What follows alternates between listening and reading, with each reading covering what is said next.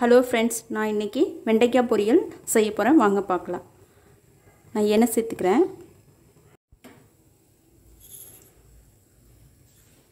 கடுகும் உளுத்தம் பருப்பும் சேர்த்துக்கிறேன்.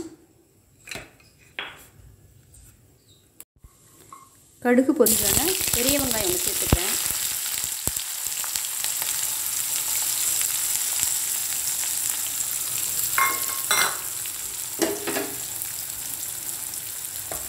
கருவேப்பிலை.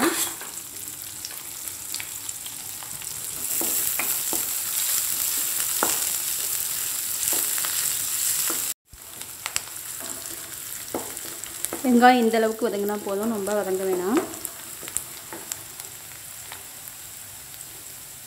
வெண்டைக்காவை சேர்த்துக்குவோம்.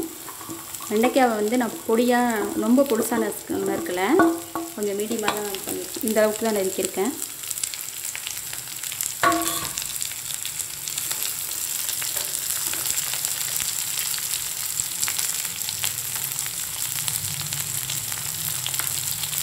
வெண்டைக்காய்க்கு தேவையான அளவு உப்பு சேர்த்துங்க.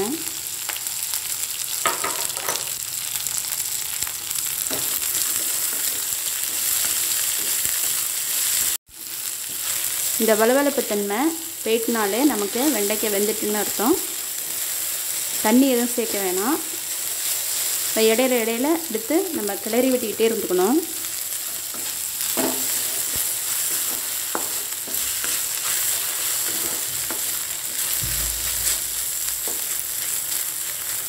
இந்த வலுவழுப்பு தன்மை போகிற வரையும் நல்லா வதக்கிங்க. சிம்மில் வச்சு வதக்கிங்க.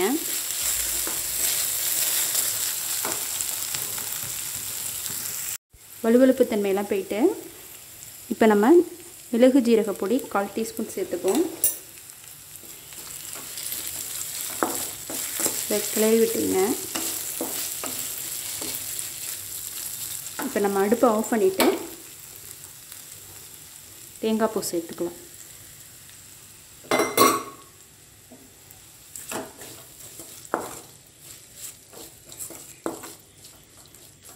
சுவையான வெண்டைக்காய் பொரியல் ரெடி.